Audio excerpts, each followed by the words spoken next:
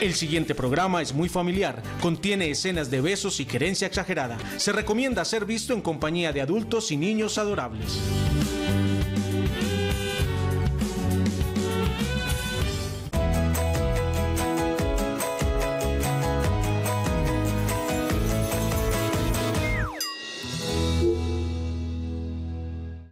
Nos unimos en un arrullo para abrir juntos un camino. Yo te ayudo a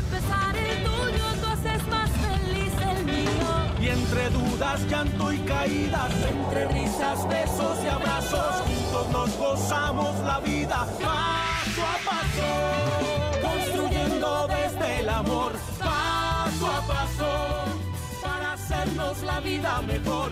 Bienvenidos a nuestro paso a paso. Aquí estamos una vez más con ustedes para compartir tantos temas que nos interesan, para resolver nuestro papel como padres, cuidadores, para aprender un poco más sobre la crianza. Eh, y tengo la primera pregunta antes de empezar. ¿Quién tomó la decisión de ver hoy paso a paso?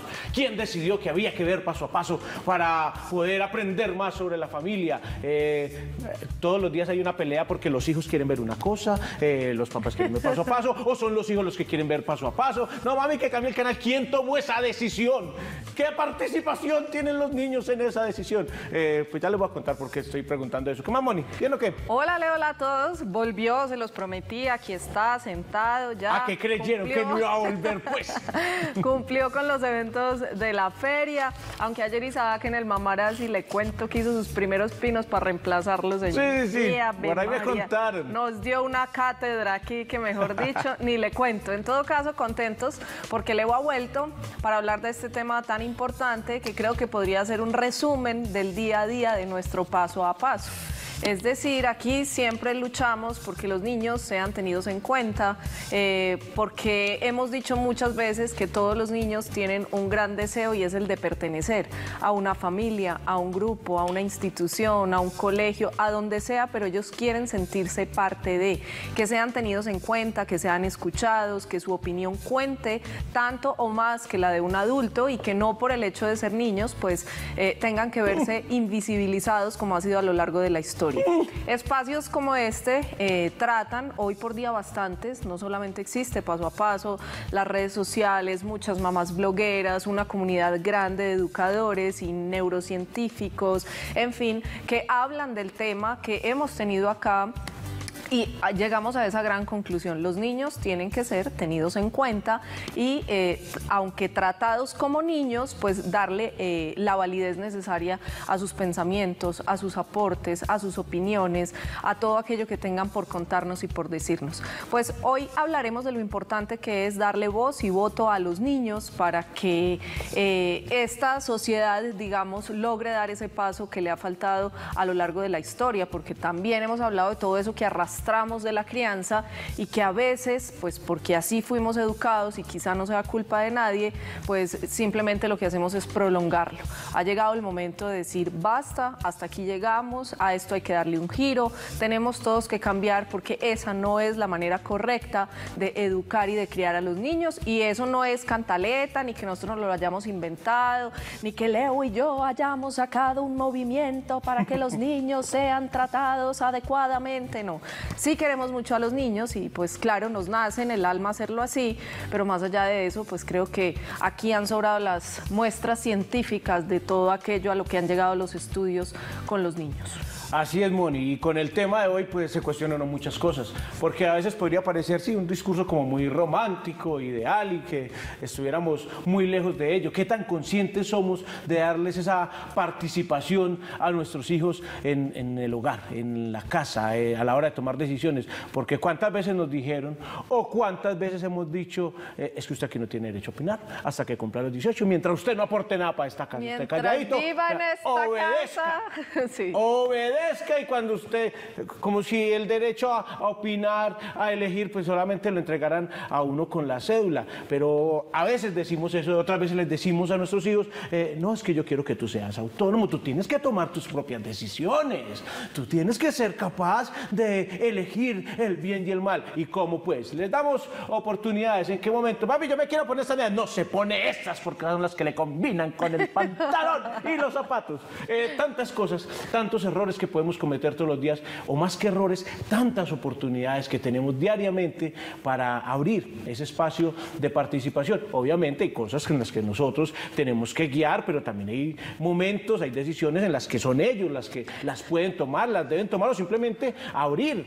Claro, la y es que ahí aparece eh, la otra cara de la moneda, como casi siempre la moneda tiene dos caras, y aquí está el de la invisibilidad. Eh, con la que educamos a nuestros hijos, porque en esta casa se hace lo que yo diga, Mm. cuando usted sea mayor de edad toma sus propias decisiones, y la otra cara de la moneda, que ahora es bien común, es entonces pues ahora hay que dejarlos hacer lo que se Eso. les dé la gana. Ah, sí. Entonces los niños deciden, opinan, hasta se ponen sus propios castigos, que casi siempre es Sí. ninguno, como debería ser, pero hay que guiarlos de otra manera. Y entonces encontrar ese punto medio a todos nos cuesta un montón. Pues vamos a hablar hoy entonces de cómo hacer para darle voz y voto a los niños. Se viene para esta ciudad eh, una noticia interesante para aquellas personas que se quieran profesionalizar aún más en el tema de educación y crianza. Y pues de eso estaremos hablando hoy. Por lo pronto... mm, con este tema siempre tenemos la tendencia a pensar que los niños son el futuro y se nos olvida que lo que son son el presente. Nosotros, los adultos y los seres humanos en general, somos muy dados a dejar todo para después. Eh, aparecen dichos o contradichos al de no dejes para mañana lo que puedes hacer hoy, como no dejes para mañana lo que puedes dejar de hacer. Y nos pasamos la vida posponiendo y posponiendo y posponiendo y posponiendo es que abrimos los ojos y los hijos ya están grandes. Así que cerramos esta semana con este mensaje de reflexión. Disfrútenlo, interiorícenlo y ya nos volvemos a conectar hoy con el tema de paso a paso. Ahí está nuestro mensaje. El día es hoy y hay que vivirlo, hay que disfrutarlo, hay que aprovecharlo para no estar dejando todo para después. Chévere, me gustó, me gustó mucho.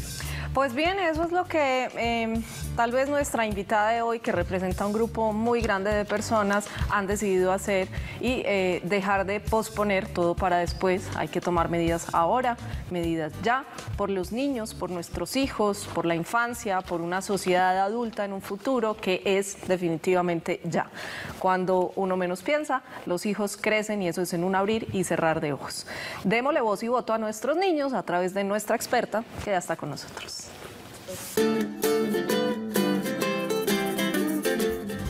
Hoy nos acompaña en Paso a Paso Sandra Milena Roballo. Sandra, bienvenida. ¿Cómo estás? Hola, ¿Todo muy bien, bien? gracias. ¿Y tú? Sí, señor. Sandra Milena Roballo, docente investigadora, magíster en Educación y Desarrollo Humano y directora de la Maestría en Primera Infancia, Educación y Desarrollo, y además mamá de Paula Andrea. Pablo Andrea tiene. 12 años. Ok, voy a empezar un poco por la vida real de tu maternidad. ¿Cómo ha sido este camino hasta llegar a especializarte en temas de crianza, de infancia? Y luego contamos por hacia dónde es que vamos nosotros con toda esta noticia. Eh, mi experiencia en la maternidad ha sido la más maravillosa del, del mundo. Eh, tener a Paula Andrea conmigo ha sido la posibilidad eh, de aprender, desaprender muchas de esas... prácticas, digamos, que, que tuvieron con nosotros, etcétera, pero es la posibilidad también de reflexionarnos conjuntamente.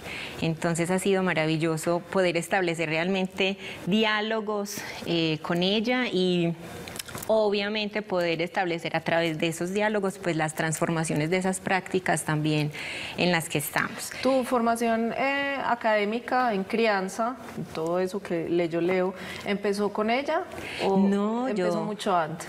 Sí, muchísimo antes. Mi interés, eh, digamos, por los temas de primera infancia vienen desde mi pregrado, por decirlo de alguna manera. Yo soy trabajadora social. Eh, obvio, desde el trabajo social, pues mucha intervención con poblaciones donde efectivamente el trabajo con niños y niñas pues se veía siempre transversalizado en todo lo que hacíamos.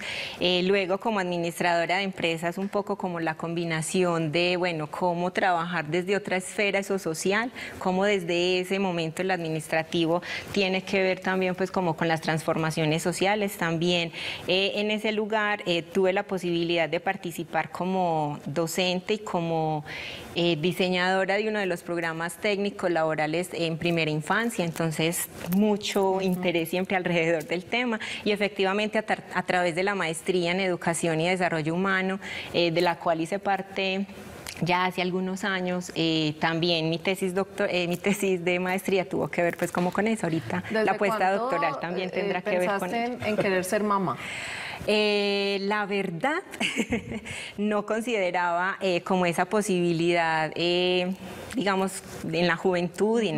Siempre pensé eh, cómo los niños y las niñas pues debían tener otras posibilidades y, y cómo esas apuestas personales pues no tenían de pronto mucho que ver con traer un hijo o una hija a este mundo y bueno, pues por todas las condiciones que uno desde las ciencias sociales identifica en esta sociedad, pero eh, llega Es que Paula Andrea con la pareja. Allá apuntaba mi pregunta, porque estás en un medio, eh, no diría yo complejo, pero que sí expone de frente muchas dificultades para criar un niño, para traer un niño al mundo, eh, que si uno las hace conscientes, pues creo que muchos Se lo piensan tal más. vez sí lo habíamos pensado tres veces antes de, de pero tú que estuviste conectada ahí de frente en medio de tantas dudas, de tantas incertidumbres, de tantas inseguridades, que hizo clic en algún momento de tu carrera para decidirte a traer una niña al mundo? ¿O fue ella la que decidió venir? No, no, sí fue planeada y, programada y buscada. Efectivamente, eh, con la pareja tiene mucho que ver también eh, como el asunto, el contexto y las apuestas que como pareja queríamos pues como tener y Te- Te pensamos... sentiste respaldada además. Por Sí. supuesto. Pero un poco más allá de eso también eh, lo que pensábamos un poco era cómo hacer para generar transformaciones si efectivamente no estamos inmersos en ese contexto. Me explico, uno los toros los ve muy fácil desde la barrera, es el dicho popular, no me gusta mucho, pero un poco como para poner en contexto el ejemplo, eh, cómo decirle a un papá cómo eh, debe ser eh, o cómo generar posibilidades de crianza si tú no lo eres. Sin ¿cierto? vivirlo, sin Sí, tener. Exactamente. Entonces también es la posibilidad de, venga, eh, claro, es que es muy fácil decirlo, cómo, cómo lo ponemos en ejercicio.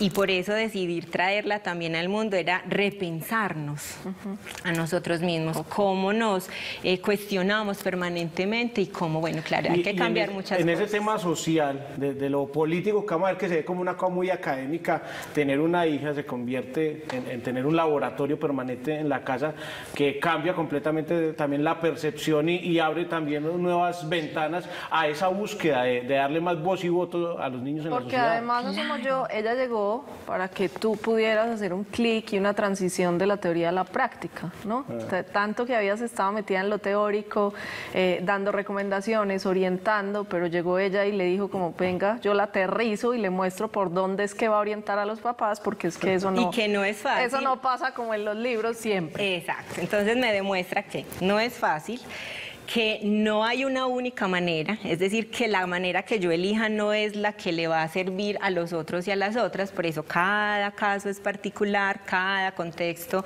es particular eh, y me demuestra además que hay que ser muy creativos demasiado creativos. Estar siempre en comunicación con ellos y con ellas, escucharlos y escucharles es, digamos, que eh, parte de, esa, de ese aprendizaje mayor y que efectivamente no podemos hacerlo solos y solas. O sea, no es el papá o la mamá o el papá y la mamá, sino cómo hacemos comunidad eh, para poder eh, crear un hijo, que es parte también de una, de una mm, mitología que hay en África, ¿cierto? En ese sentido, y yo sigo ahondando en la vida real, ya, ya vamos a hablar con la experta que hay detrás de esta mamá, eh, en ese sentido te has sentido sola para lograrlo, o sea, tú tienes una gran apuesta, una gran idea, un conocimiento teórico muy fuerte, ahora la práctica, unas conclusiones que nos estabas compartiendo, pero a la hora de implementarlas, ¿te sientes sola? Nunca. Afortunadamente parte de esos aprendizajes es cómo generamos esa comunidad, ¿cierto? Y esas redes de apoyo. No solo las familias próximas, sino también esas familias extensas, pero también las comunidades, es decir, el preescolar, la institución educativa, eh, cómo hacemos redes con otras mamás y otros papás, con abuelos, abuelas, en fin. Y cómo desde lo académico también una de esas apuestas es generar esas redes eh, en las que nos podamos estar pensando, eh, repensando y proponiendo nuevas ¿Y has sentido en algún momento que esas comunidades por pues, educaciones pasadas, eh, que diría uno, malos hábitos, historias que acarreamos todos de, de, crianza, de educación, que antes no se conocía realmente cómo evolucionaba el cerebro de un niño, desde cómo aprendía, cómo era su desarrollo, y que ahora todo eso que se sabe hace falta que, que se ponga en contexto para desaprender, como decías tú, tantas cosas que muchos, incluso de los profesionales que trabajan con niños, aún conservan y entorpecen tal vez ese proceso? Eh, claro, es muy importante que el paso a paso sea justamente eh, ir despacio, ¿cierto? No pretender unos cambios radicales como como hay de la noche a la mañana ya sí la participación de los niños, ahora sí todo el mundo los cuida, no, e, eso requiere, como han sido prácticas instauradas históricamente, pues requiere tiempo también para desinstaurarlas, ¿cierto? Y efectivamente es, digamos, las apuestas que tenemos también con estas comunidades de aprendizaje. Que, además es un trabajo que hay que ver con toda la familia, porque uno piensa, digamos que cuando uno se va haciendo más consciente de este tipo de cosas con sus hijos, pues uno cambia prácticas, uno piensa en lo que pasó con, con uno en su infancia, lo que pasó en la familia pero hay que llevar eso de ese círculo eh, íntimo de padres e hijos también a los abuelos, a los tíos. Que, ahí, digamos, es, donde toca empezar a hacer la verdadera transformación. Claro que sí, y que como insisto, debe ser paso a paso. O sea, no podemos pretender, por ejemplo, que las prácticas que las abuelas tienen y que tuvieron eh, con nosotros cuando éramos sus hijos eh, se rompan de un momento a otro. Claro, ellos llegarán a, también argumentar eh, eso que tú dices, por ejemplo, como lo mencionabas ahora, el decirle de pasar de un extremo a otro. Claro, no es el asunto de dejarlos ahora hacer lo que les dé la gana, que es como lo que se dice, eh, y que crezcan sin orientación y sin guía, sino cómo nos convertimos en reales acompañantes de sus procesos.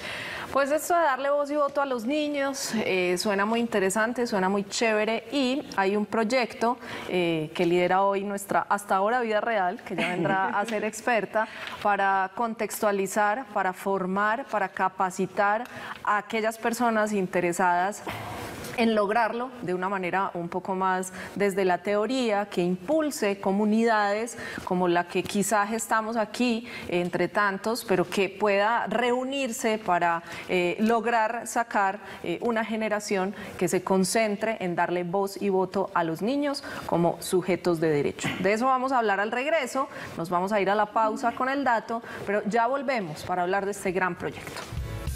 Nuestro dato en paso a paso dice, no les reconocemos a los niños como sujetos políticos al concebirlos como seres sin voz, solo por el hecho de que no hablan como nosotros los adultos, los mayores. Menospreciar sus ideas y pensamientos, considerar que están siempre en carencia porque son niños y niñas desconociendo sus potencialidades. ¿Qué es eso de ser sujetos políticos? Pues ya lo hablamos en paso a paso. Estás viendo Paso a Paso.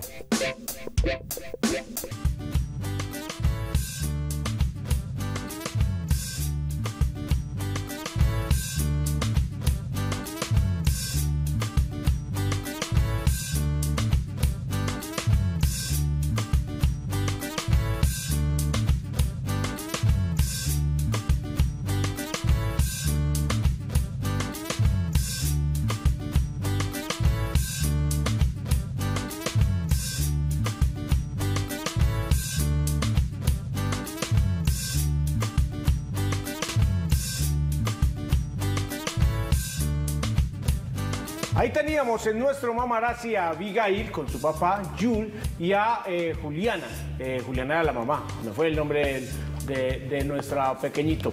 Eh, estas son las fotografías del Mamarazzi que están participando, además, por esa campaña que habíamos eh, anunciado sobre el tema del vínculo y el aprendizaje para invitarlos a un congreso que se estará realizando el 31 de agosto. ¿Se acuerdan? ¿Se acuerdan? Para que sigan enviando sus videos y fotografías. Vamos a sortear un, un cupo. Hay una entrada... Eh, Para el décimo encuentro de educación infantil, tuvimos programa la semana pasada también con unas expertas increíbles. Una de las ponentes que va a estar allí, Anabel Hernández, nos estuvo acompañando eh, sobre la temática central de este evento, que será el vínculo y el aprendizaje. Pues les pedimos a ustedes para participar que nos enviaran fotografías que dieran cuenta de esos momentos de vínculo y de aprendizaje, porque no hay uno sin el otro. Definitivamente a esa conclusión llegamos. Aunque siempre hay aprendizaje, es mucho más efectivo, es un detonante único. Eh, e innegable cuando el vínculo está de por medio. Estas imágenes, entonces, como decía Leo, son las que están participando. Tendremos el concurso abierto, diría yo que hasta la próxima semana, para que tengan tiempo de programarse o para que aquella persona ganadora tenga tiempo de programarse y los demás interesados pues puedan averiguar su entrada en arroba universo de familias. Por ahí pueden contactar y conectar con las organizadoras. Retomamos nuestro tema, ese de darle voz y voto a los niños. Y este tema ha llegado al set de paso a paso porque en los próximos eh, días, niños, en los próximos días va a ser lanzada una maestría en primera infancia y esa es la gran noticia que queremos hoy comunicarles, alrededor de la cual, pues por supuesto, se van a desprender un montón de temáticas que todos los días traemos al set de paso a paso. ¿Qué es una maestría en primera infancia? ¿Esto cómo surgió? ¿A quién se le ocurrió? ¿A quiénes está dirigida? ¿A qué le apuntan? Pongámonos un poco en contexto porque no existe como tal esta maestría, pues es la primera vez que se hará. Gracias. En realidad el programa de maestría surge eh, desde hace muchos, eh, muchos años, viene tejiéndose alrededor de una alianza con la Universidad de Santander y la Fundación Centro Internacional de Educación y Desarrollo Humano, CINDE, eh, que le veníamos trabajando. La fundación hace cerca o más de 40 años, poco más de 40 años viene trabajando en temas de infancia y primera infancia y juventudes, y la Universidad de Santander también pues como con mucho interés de generar apuestas académicas alrededor de este campo. Eh, la maestría surge en Bucaramanga ya hace desde el 2015, esta maestría ya existe en Bucaramanga y el lanzamiento que vamos a hacer es para Antioquia, que es el próximo 15 de agosto. Eh, Que aquí no había nada como parecido ni similar, había especializaciones, tal vez, eh, posgrados ahí, como cursos eh, de- para poder ahondar en los temas de primera infancia, pero una maestría como tal no la tenía. Como tal, maestría en primera infancia no existía en Antioquia y eh, digamos que a nivel eh, de Latinoamérica eran muy pocas las que se centran en infancias y juventudes. Son alrededor de 15 programas eh, que existen con esta apuesta ética y política pues como centrada en el campo de las infancias y las juventudes y surge entonces para Antioquia como la primera maestría en primera infancia pero además, digamos que la otra apuesta es porque si encontramos programas posgraduales en educación inicial, eh, pero no centradas en la primera infancia con los dos énfasis que le estamos dando nosotros, que es educación y desarrollo. Nosotros no solo nos vamos por la línea de la educación inicial, sino también todos estos conceptos y estas apuestas desde el desarrollo humano. ¿Cuál es el gran objetivo? El gran objetivo será formar magísteres, personas con capacidad y rigor técnico y rigor obviamente científico para acercarse al campo de la primera infancia y poderlo posicionar con miras a transformar esas prácticas, ¿cierto? Personal del que puedan beneficiarse todos nuestros Todos. hijos, ¿no? Claro que sí. O sea, no está solo dirigido a docentes, está dirigido también a profesionales que, por ejemplo, eh, en las áreas de la salud tienen especializaciones en pediatría. ¿Cuáles son los requisitos, por ejemplo, para acceder a un cupo? Eh, los requisitos, normalmente los programas posgraduales tienen, eh, digamos, el mismo criterio, básicamente es tener un pregrado, pero que eh, efectivamente tenga interés por participar con niños y niñas, ¿cierto? Que tenga una afinidad por este, por este grupo poblacional y que efectivamente pues, pueda poner en práctica eso que estamos tejiendo alrededor del programa de maestría. Muy bien, vamos a poner en pantalla entonces de una vez la página donde pueden entrar a inscribirse, eh, consultar y ahondar y profundizar un poco más en la información de esta maestría para todos los interesados. Yo, Mónica Londoño, comunicadora social, periodista, eh, con especialización en gerencia de mercadeo. Y en lactancia.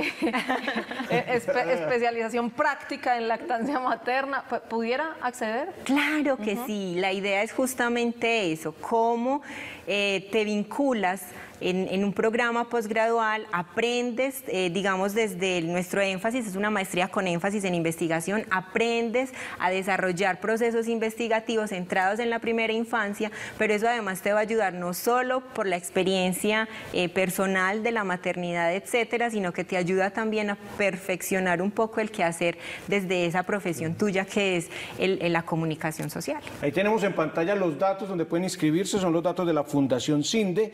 Eh, dirección es cinde.org.co, donde pueden eh, tener información para la inscripción o hacer la inscripción si así lo desean. Y el teléfono 444-8424, extensión 130, para esta maestría que uno se pregunta. eh, ¿Qué materias se ven ahí? ¿Cuál es el pen? ¿Qué, qué- qué aprende? A, a qué va una, una persona a aprender ahí en, en la maestría? Pataletas Situación uno, de dos, papá. tres, aquí decisión tan. A la hora de la comida, ¿qué va- se va a comer esto? ¿Cómo, cómo tomar esa decisión? ¿Qué materias ven?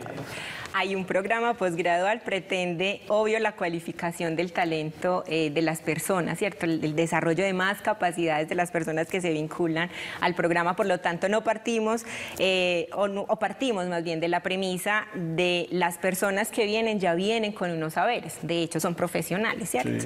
Entonces, no parten de cero, no vamos a ver pataletas uno, dos, pero sí tenemos tres campos de acción eh, eh, definidos, tres campos de formación en el área disciplinar, ¿cierto? Entonces son dos áreas, les estaba contando ahorita, es una maestría en investigación, la mayor cantidad de créditos de la maestría están inclinadas a desarrollar habilidades en- investigativas, ahí son 20 25 créditos, 21 créditos en estos campos que son ambientes eh, para la educación ambientes de desarrollo también para los niños y las niñas, el otro campo es educación inicial y atención integral, no las desligamos, sino que las vemos dentro del mismo campo, y el otro campo eh, tiene que ver con el desarrollo humano y primera infancia, donde centramos también unas apuestas hacia lo que se está viendo ahora, que es también parte de las razones por las que queremos hacer esta maestría en Antioquia, que son todas estas apuestas desde las políticas públicas. Entonces allí también Antes de detenernos un poco en políticas públicas, es que cuando estabas mencionando lo de los 25 créditos, yo me volví a la universidad y una materia, cuando yo le tenía que decir a mi papá que una materia tenía seis créditos, eso era un platal, yo, a mí me temblaban las piernas, me acuerdo. ¿Vale mucho? No, podemos decir el valor. Sí. Eh, bueno, resulta que ante el ministerio pues presentamos efectivamente el costo eh, por el que se establece pues la maestría, pero tenemos un precio de lanzamiento para que obviamente sea un programa asequible también considerando las condiciones de las personas que hacemos parte de estos campos de la primera infancia. Eh, entonces el valor inicial es de 6 millones 780 eh, por semestre. Y obviamente pues con todas las facilidades y formas de pago que se establecen en la alianza entre la universidad y la ¿Cuántos fundación. semestres son? Son maestría? dos años, son cuatro años, semestres. Son cuatro semestres. Muy bien, ahora sí eh, entremos en materia porque una de las grandes preguntas a resolver en esta maestría es eh, el planteamiento de los niños como sujetos políticos y de derechos y eso es como la traducción técnica y bastante densa de hay que darles voz y voto a los niños, pero eso mm, yendo un poco más allá, ¿qué significa y cuál es la preocupación de ustedes en torno al tema? Resulta que rastreando las cifras eh, de contexto de nuestras realidades, las realidades que viven nuestros niños y niñas, efectivamente pues encontramos que son cifras aterradoras, ¿cierto? Las cifras de maltrato infantil, de muertes por desnutrición, etcétera, eh, que afectan obviamente no solo a los niños y las niñas, tú también muy bellamente lo decías al principio, no son el futuro, son el presente, ¿cierto? Pero también nos están afectando en las sociedades. Entonces, eh, esas cifras obviamente nos llevan a pensarnos, bueno, eh, este asunto de la negligencia y del maltrato, de dónde un poco surgen. Y una de las tendencias, no es la única, pero una de las tendencias y de las apuestas que, que hemos empezado a evidenciar a través pues como de los estudios y las investigaciones es que los adultos que somos quienes estamos en, en, en, el rol del cuidado o debemos estar en el rol del cuidado, de acogerlos, etcétera, los invisibilizamos y los hemos invisibilizado históricamente. Eso no es eh, culpa uh -huh. y no es culpa de, de, nadie, ¿cierto? Es algo que ha venido surgiendo. De hecho, el concepto de infancia es un concepto nuevo. Antes no existía ese concepto como tal.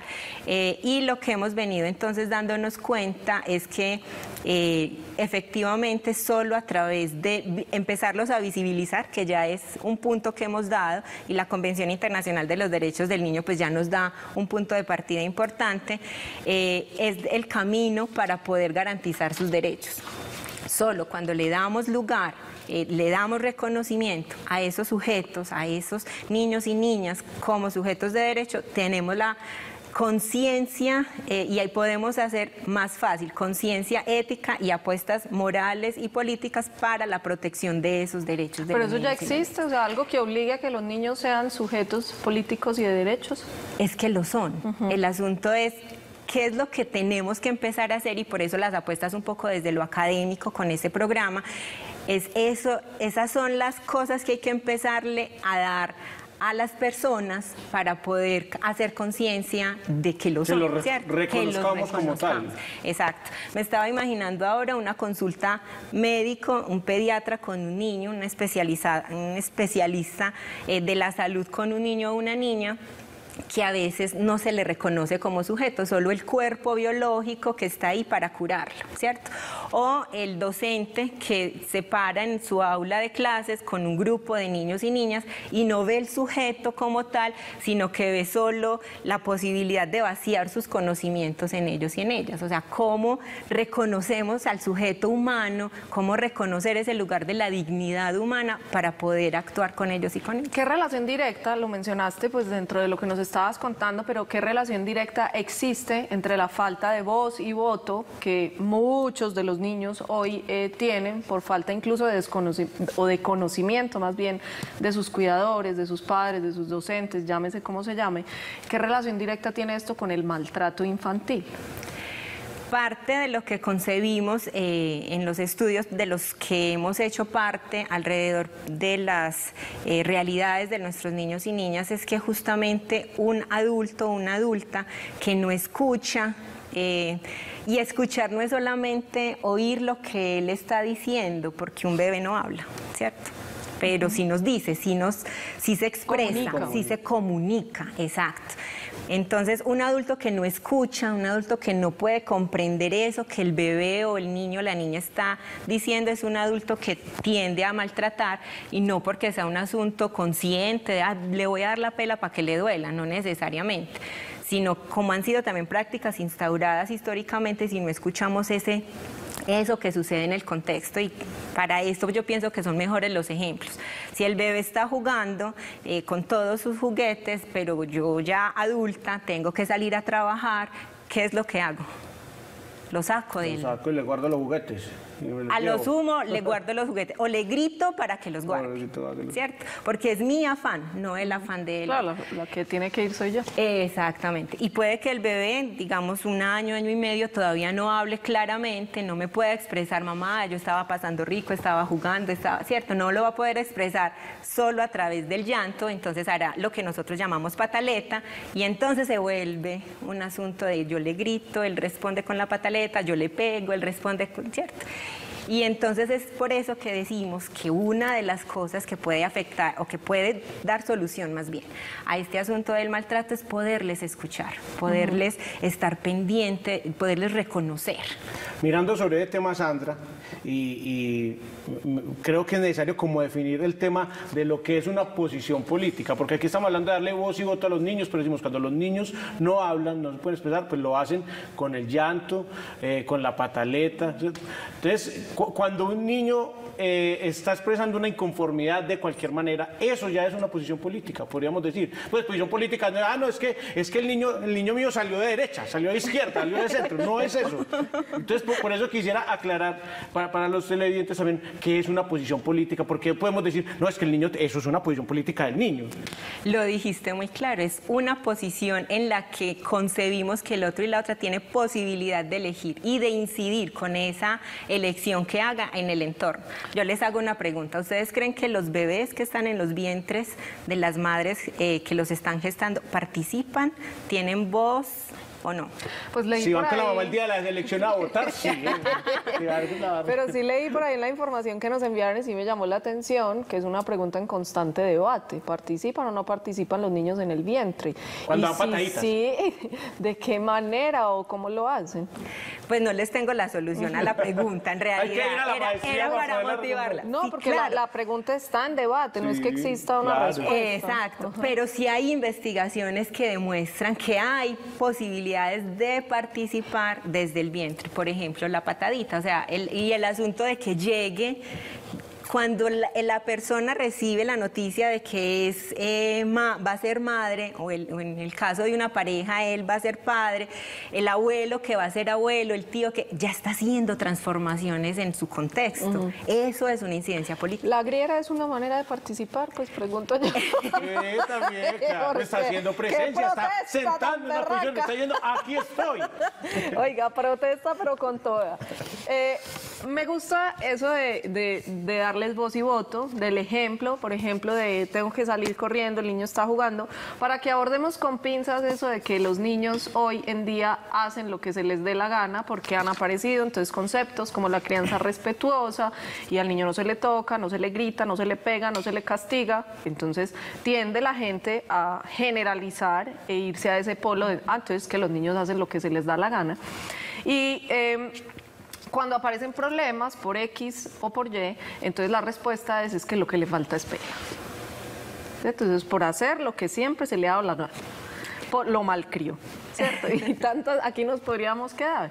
Pero, pero sí, ese tema hay que cogerlo con, Con pinza. pinzas, claro. Afortunadamente, los estudios desde las neurociencias, por ejemplo, eh, nos han dado están dando cuenta de cómo hay otras maneras, ¿cierto? Que no es el grito, no es la vulneración, no es la pela, pues el golpe físico, etcétera, porque generalmente lo que hacemos con eso es generar círculos de violencia. Entonces, un- una persona que ha sido agredida en su infancia, posiblemente, no estoy diciendo que, que será, pero posiblemente será un agresor, porque además justifica el hecho de que conmigo funcionó.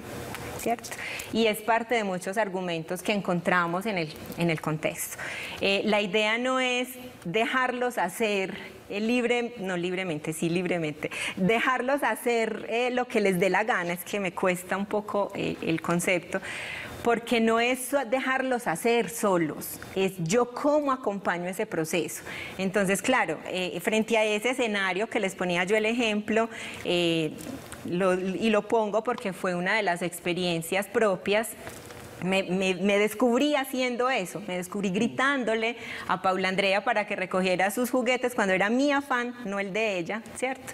Cuando era eh, lo que yo tenía que hacer adulta, no lo que yo estaba o lo que ella me estaba queriendo decir que era lo que quería hacer en ese momento. Que muchas veces pasa igual como con el tema de los castigos, ¿cierto? Porque entonces pelean con un amiguito, entonces uno les quita el play, ¿cierto? Pero la reflexión entonces lo lleva a uno es que tiene que ver el play con que le pegó al amigo y son unas contradicciones un poco difíciles de mediar porque están los dos extremos y- y, esa línea media en el tema de crianza es bien compleja. bien compleja. Y lo que me invitó, por ejemplo, la situación a mí entonces fue a sentarme. Yo me senté con ella y jugando pude entender un poco, claro, es que ese es su mundo. Además que está aprendiendo, está desarrollando todo el asunto eh, cognitivo, también el asunto motriz, en fin, fue valorar ese espacio. Es que O a sea, su veces juego pensamos para que- ella es tan importante como la cita para mí.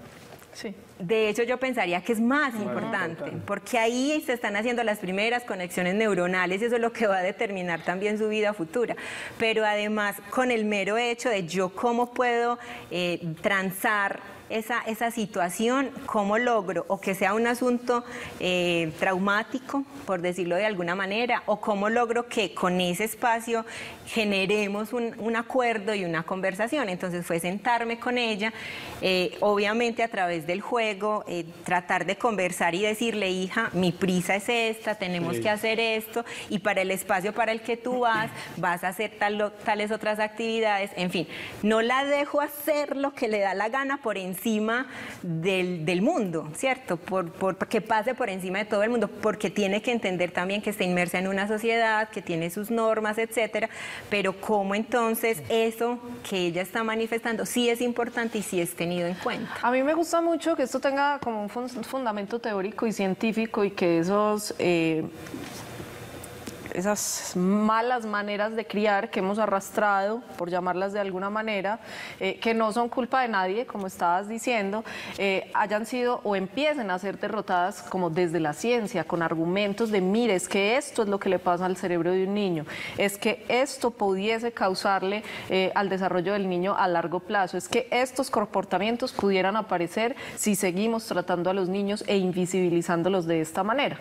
Y pregunto eso es mm, sobre todo para llegar a qué tipo de especialistas son aquellos que tienen como esa voz y ese voto para impartir, eh, pues particularmente en el caso de una maestría sobre crianza, pero sobre todo para recomendar a los padres de hoy en día en tantos espacios que hay, pues aquí tenemos uno permanentemente, pero que afortunadamente se ha empezado a abrir el abanico de, opciones y de posibilidades.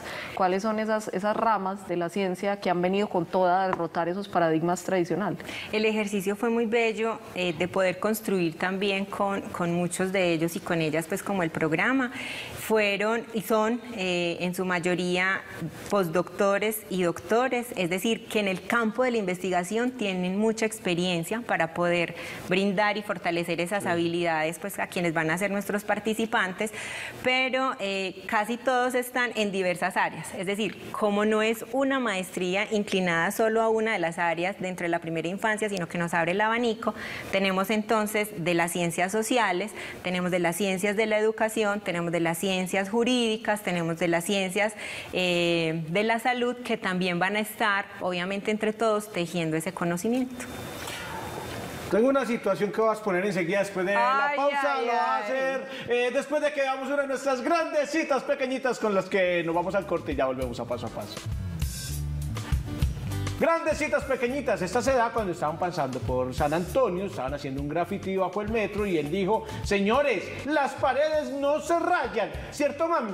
Eh, hijo, se puede porque están haciendo un graffiti. Ah, sí. Entonces voy a hacer un graffiti en la casa, mami. Eh, mm, voy a hacer un ah, graffiti en mi pieza, ahí en la sala, ahí en la cocina. Eh, Isaac, cuatro años, va por su graffiti. Grandes citas pequeñitas. Ya volvemos a paso a paso. Vos y vos.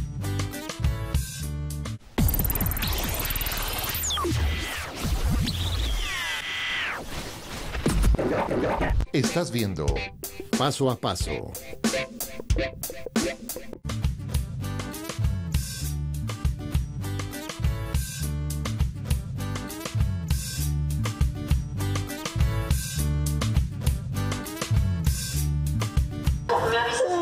¿Qué estás haciendo?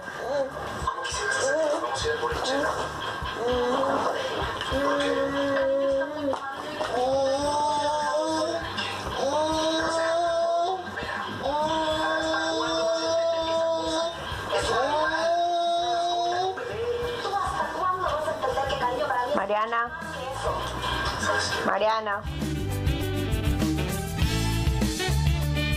Mariana está en nuestro mamarazzi dando una muestra de lo que es el vínculo y el aprendizaje. Recuerden enviar sus videos y fotografías a paso a paso. Hoy estamos hablando con Sandra a propósito de eso, de darle voz y voto a nuestros hijos y pensaba en, una situación, Sandra, que yo no sé, creo que nosotros debemos de cambiar también esa concepción que tenemos de nuestros hijos, porque muchas veces eh, eh, hablabas de darles ese acompañamiento, pero nosotros somos los que bloqueamos ese acompañamiento cuando ellos sientan una posición eh, de desacuerdo frente a cualquier situación en la casa. No, es que aquí se obedece y nos sentimos retados, nos sentimos es presionados y, con el ánimo es de, hacer valer nuestro poder. Cuando ahí lo que tenemos es una oportunidad y creo que antes deberíamos es como alegrarnos de pensar, "Ve, si él me está sentando en una posición, si está expresando su desacuerdo, pues ahí también, más que un acto de rebeldía, pues creo que dice más bien cosas positivas de la familia. Si él se siente en condiciones de, de decir, hombre, yo no estoy de acuerdo con eso, eso hay que valorarlo también, y mucho. Me encanta eso que dices, efectivamente eso es. Claro, y eso es poderlos ver como sujetos políticos y de derecho, ¿cierto? Algún experto aquí, eh, no recuerdo bien quién, si Leo se acuerda, me, Adelante. me sopla, decía que es que los niños no tienen que obedecer, sino hacer caso. Y la gran diferencia estaba en que cuando se la pasan obedeciendo y llegan a la adolescencia y les ofrecen droga, pues ellos obedecen y, y- y la consumen, ¿cierto? Pero cuando hacen caso, eh, se presenta la posibilidad de, bueno, yo voy a hacer caso, pero es que yo siento esto por esto y esto y esto, ¿sí? Y que eso es lo que dice Leo hay que valorar, en lo que fallamos tanto los papás, porque eh, no desperdiciamos oportunidad de hacer valer nuestro. Obedece y ya. Sí, pues ellos mucho, de antemano saben quién es la figura que manda, que pone las reglas, que tiene el poder, pero nosotros no desperdiciamos oportunidad para restregárselos y que quede bien claro. Y que ¿cierto? quede bien Y se lo dije y se lo advertí y yo sabía y vio, es que se iba a caer, yo se lo dije, sí. Y entonces eh, metemos el dedo a la llaga y nos sentimos, ay, es que, se, que le dije que se iba a caer y se cayó bien, me dio la razón. Pero me dio la razón y encima le pego porque se cayó. Ay, bueno. Eh, claro, y eso nos ayuda, nos lleva también a pensar un poco dentro de esas apuestas del programa eh, de maestría, eh, que no va solo, o sea, la alianza supera un poco el programa y lo que queremos realmente es posicionar el campo de la primera infancia como un campo de conocimiento. Sabemos que es un campo eh, fértil, que en este momento se vienen produciendo muchos asuntos alrededor de esto, pero que también hay que retomar cosas que venían tejiéndose desde antes. Por ejemplo, eh, me, me hiciste acordar de las clases de, de Foucault. Claro, ahí nos hablan de todo lo del poder, ¿cierto? Y cómo los adultos instauramos y tenemos nuestras medidas también para instaurar esos poderes frente a esos otros y esas otras.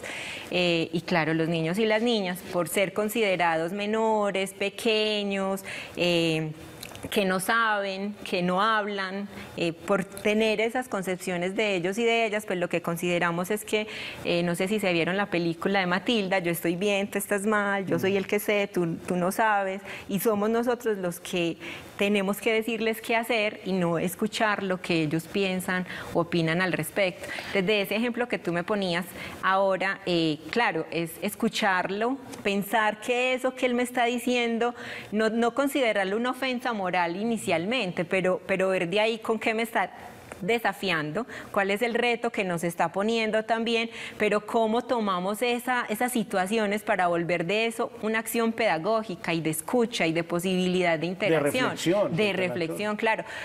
Es que no existe la razón. Puede que él no tenga la razón, pero es que puede que yo tampoco la tenga, si yo sea el adulto. Pero ¿cómo construimos entonces esas razones conjuntamente para poder convivir y vivir eh, alegremente? Digamos feliz? que esos malos tratos, esas malas creencias, esas malas prácticas por años, por siglos, por qué sé yo, por toda la vida de la humanidad en la humanidad, eh, han sido, han venido siendo derrotadas desde la parte teórica, científica, desde los expertos, pues una maestría que le apunte a la crianza creo que es prueba suficiente de ello. Especialistas que se han sentado aquí todos los días con sus resultados de investigaciones, de años, de vivencias, de consultas, de pacientes, pues son la prueba fehaciente de que eso está siendo derrotado desde la ciencia. ¿Qué hay que hacer para que esto traspase esa barrera de la ciencia y nos permee a todos, a la al ciudadano del común, al que vende chicles en un semáforo y tiene a sus hijos, al que sale a trabajar en una oficina en horario completo, o al que es papá o mamá de tiempo completo 24/7 y se queda con su hijo, que no necesariamente desde la ciencia está vinculado con los temas de crianza, pero sí desde su qué hacer como ser humano eligió o la vida eligió por ellos ser padres. ¿Qué, qué tenemos que hacer para que eso realmente convenza a todo el mundo de que ese es el camino?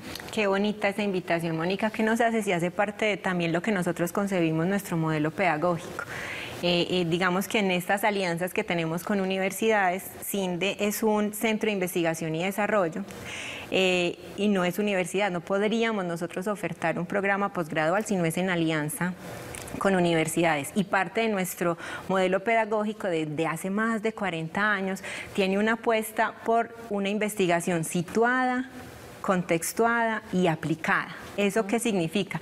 Que esto de lo académico y lo científico no se aleja de la realidad y que todo lo que nosotros hagamos en investigación es para transformar esas prácticas y allí tenemos mucha experiencia un poco desde todos los años que ya hemos estado pues como en el territorio pero con transformaciones muy prácticas. Es justamente eso. Eso que investigamos no es para llenar libros y bibliotecas, para hacer libros que Ni llenen bibliotecas que no y para llenarnos nada, de que estadísticas. Exacto, no, es para transformar realidades. Y por eso todos los profesionales que pasan por nuestros programas eh, de formación efectivamente tienen unos impactos desde lo cotidiano. Y no es lo cotidiano solo lo que viven personalmente, eh, perdón, profesionalmente. Entonces, eh, yo por ser trabajadora social me transformé por la maestría en tanta, no solamente en eso, sino también como ser humano.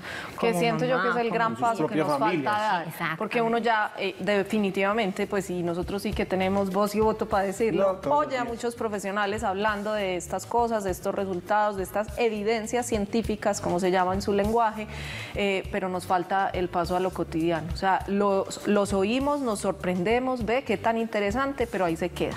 Entonces hay que llegar a poner eso en la práctica de nuestras familias para que eso realmente surta efecto y ahí es donde estamos quedándonos cortos. Y me alegra enormemente que hayan propuestas de este tipo en esta ciudad que tanto lo necesita, que hemos estado tan marcados por años por la violencia, pero que hoy estamos pensando en darle a nuestros hijos voz y voto como sujetos políticos y de derecho. Muchísimas gracias, muchos éxitos. El jueves es el lanzamiento, Sí, rueda de prensa.